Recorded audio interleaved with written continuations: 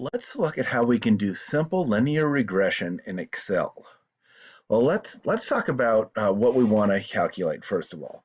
Suppose we are hiring a bunch of engineers and we have developed a cognitive ability test that we believe will predict how well these engineers will perform. Um, so we've got a bunch of data on engineers that we've already hired, and so we have their, their performance data. So we have in this table, we have uh, cognitive ability and performance. And our goal is to create an equation that allows us to predict performance, which we'll call y, for a given value of x, which we'll call cognitive ability. And the form should be in y equals bx plus c. Now, you might recognize this equation um, from uh, algebra. Um, a lot of times it's in the form of y equals mx plus b. We've got the, uh, the b is going to be the slope of the line, and the c is going to be the y-intercept.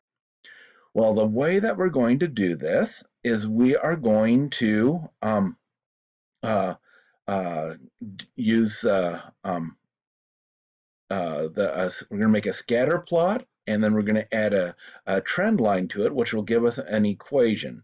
I think we'll also uh, calculate R with a data analysis as well. In fact, why don't we even start with that?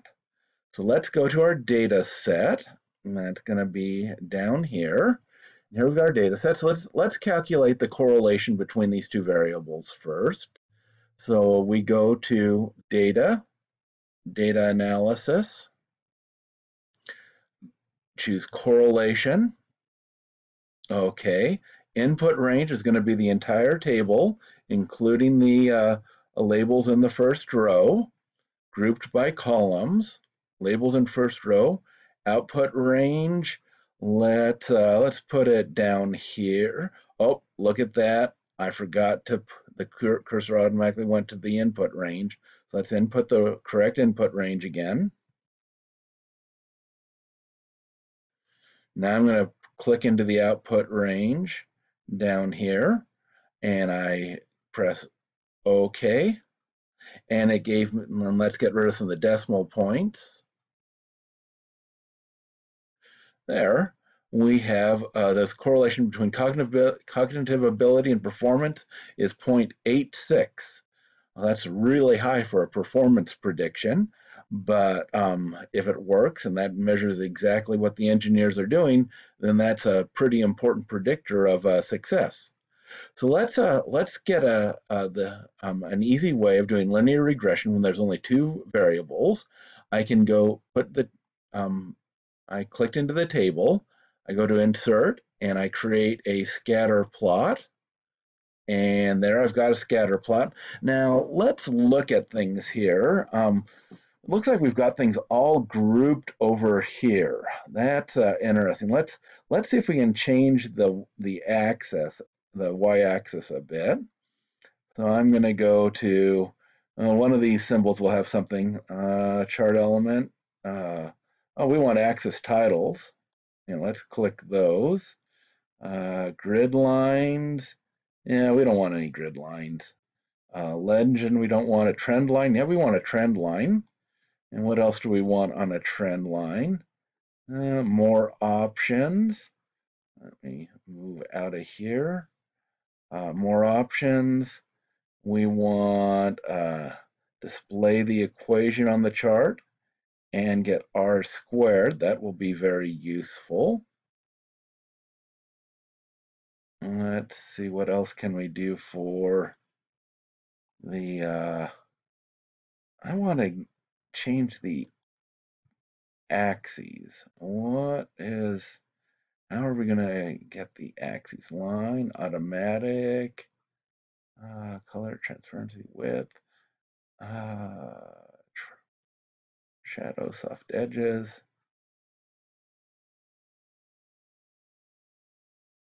Trend line name. Now this is all about the trend line. Oh, let's try something besides trend line options horizontal axis. That's what we want to change. Um, vertical alignment. No, it's not the vertical alignment. Uh, the bounds. Okay, there it's set from 0 to a 660. Let's change that to 100 to 140. And that will be good. That looks, that's a lot better. We can move the, equa the linear equation out of the way. We put the axis title. This is going to be uh, uh, cognitive ability.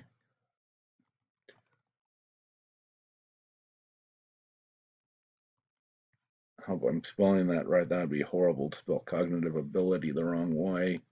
Cognitive ability. Yep.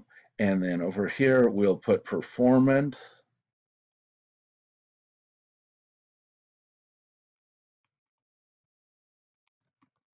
And the title, performance of engineer, job performance, uh, performance ratings. Let's call it performance ratings of engineers. Okay, so now we've got a nice chart of that. Now let's look at what we have. We've got the equation y equals 0.0741x minus 7, basically. So the x is the cognitive ability and the y is the performance. And that equation gives this line, and uh, which has a correlation of 0.86. That's a pretty strong correlation. This is a pretty good predictor. And uh, the total R squared is 0.732. That means that 73% of the variation associated with performance is predicted by cognitive ability. That means there's another 27% that comes from someplace else, so it's not a, a perfect predictor. So let's, uh, let's go back to our PowerPoint here and talk about, so what does this actually mean? So we rounding things off, we've got our equation. Let's make this a little bigger. y equals 0.074x minus 7.